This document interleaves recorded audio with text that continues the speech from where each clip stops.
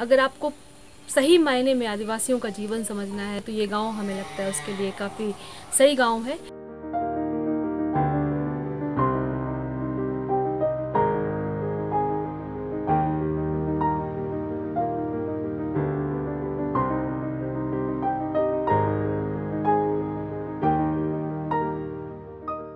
एक घोर नक्सल प्रभावी क्षेत्र है। यहाँ पर अभी हम जब रास्ते से गुजरते हुए इस गाँव में पहुँचे तो जगह जगह नक्सलियों के पोस्टर लगे हुए थे।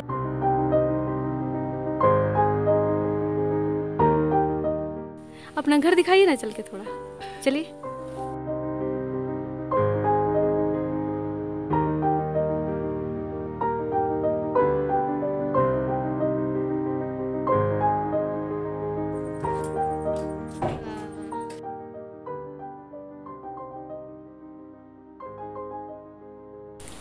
अभी जहाँ हम खड़े हैं ये दंतेवाड़ा जिला मुख्यालय से करीब 60 किलोमीटर दूर एक गाँव है कटे कल्याण ब्लॉक का।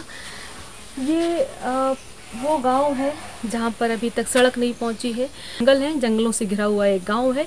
पूरी तरह से आदिवासी गाँव है। चलिए हम आपको इस गाँव ले चलते हैं और दिखाते हैं कि सही मायने में आदिवासियों का गाँव कैसा होता है।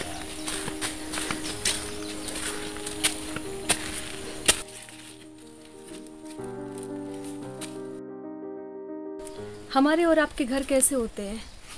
जब हम घर की कल्पना करते हैं, जब हम घर की बात करते हैं तो हमारे दिमाग में वो सारी सुख सुविधाएँ होती हैं, बहुत सारा सामान होता है, तब हम एक घर की कल्पना करते हैं।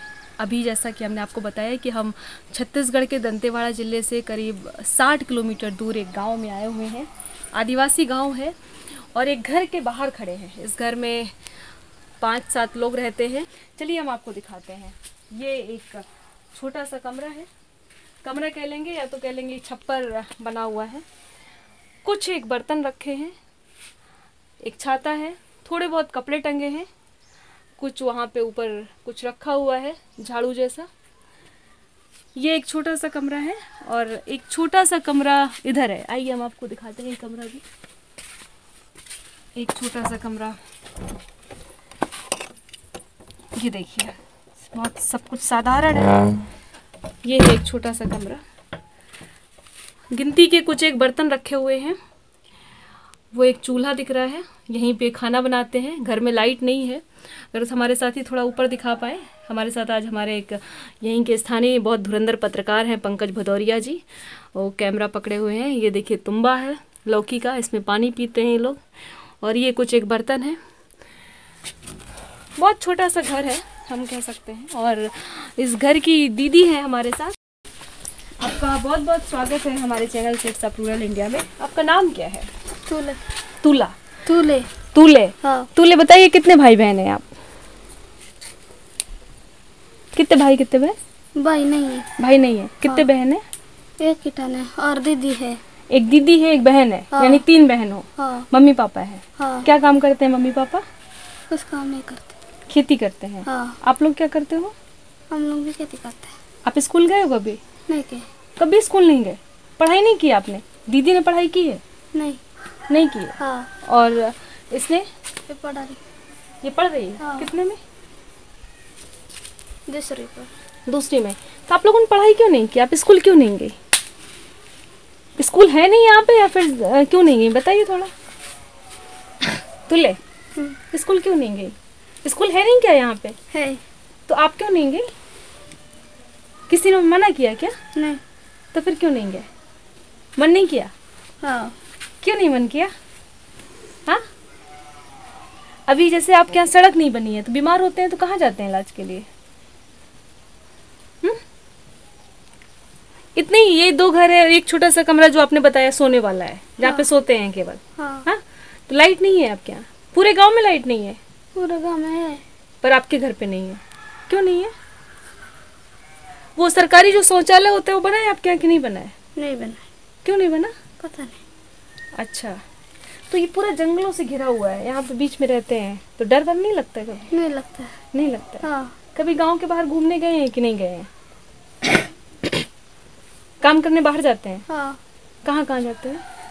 आंध्रा जाते हैं सुकमा जाते हैं। आंध्रा जाती हैं काम करने? हाँ। कितना पैसा मिलता है दिन का? कितना पैसा मिलता होगा? आपके गाँव में कितने घर होंगे? आपके गाँव का अच्छा नाम क्या है? एटे पा इटेपाल हाँ। कितने घर होंगे? दस बारह? पता नहीं। नहीं मालूम। हाँ। अच्छा। तो आप लोग यहीं रहते अभी आंध्रा नहीं गए हैं? नहीं गई क्यों? दीदी कहाँ गई है? आंध्रा गई। आंध्रा गई है? हाँ। और मम्मी पापा? खेत तरफ़ गए। खेत की तरफ़ गए। हाँ। तभी आप अकेले घर पे हो? हाँ। खेती वेती होती है? हाँ। खेत है आपके? हाँ। ये मक्का आप ही की बोई है क्या? हाँ। मक्का आपकी बोई है ये? ये आपका खेत है? हाँ। देखिए ये मक्का का खेत है। हाँ, खेत के इस तरफ़ इनका घर है दो छोटे से कमरों का। एक में तो वो छप्पर जैसा है करकट पड़ा हुआ है। एक छोटा सा कमरा और आगे बना हुआ है जहाँ पे लोग सोते हैं। बस वहाँ पे एक छोटी सी चारपाई पड़ी है और वहीं पे सोते हैं। और आसपास देखिए कुछ कुछ सब्ज़ियाँ लगा रखी हैं जिससे इनका अपना खान पान चलता होगा। तो दीदी खर्चे कैसे चलते हैं आपके? खाना वाना आप पैसा कहाँ से आता है? मजदूरी करके वही पैसा आता है? हाँ। तो दीदी अकेले आंध्रा गई है? हाँ। किसके साथ गई है? लड़के लोग के साथ गई लड़के लोगों के साथ। कितने साल से गई हैं बाहर? कितने दिन से गई हैं? उस दिन गई है गुरु ए, अभी गई है? हाँ। तो आप क्यों नहीं गई? हम तो इधर के चक्कर खेत का करेंगी इसलिए नहीं गई है। हम्म। बहुत साधारण जीवन है। आदिवासी आदिवासियों का आपने देखा कि एक छोटा सा घर है। कोई उम्मीद नहीं है, कोई शिकवा शिकायत नहीं है, जो है, जितना है, उतने में खुश हैं।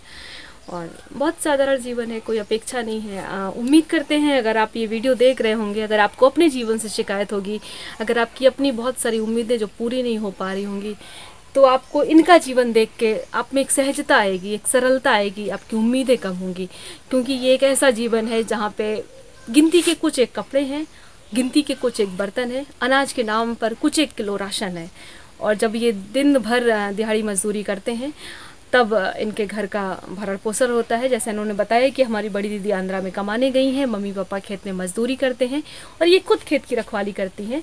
इनकी दोनों बहनों ने पढ़ाई नहीं की। यहाँ पे हम अभी तक जितनी भी लड़कियों से मिले हैं छत्तीसगढ़ में, मोस्टली लड़कियों ने पढ़ाई नहीं की है। वजह उनको खुद भी नहीं पता है, वो स्कूल नहीं गई, उनका मन नहीं किया, या घर पे काम ज़्यादा था, या गरीबी ज़्यादा थी, जिसकी वजह से इन्हें पलायन करना पड़ा। पढ़ाई नहीं की। यही है आदिवासियों का जीवन यही है छत्तीसगढ़ यही है दंतेवाड़ा।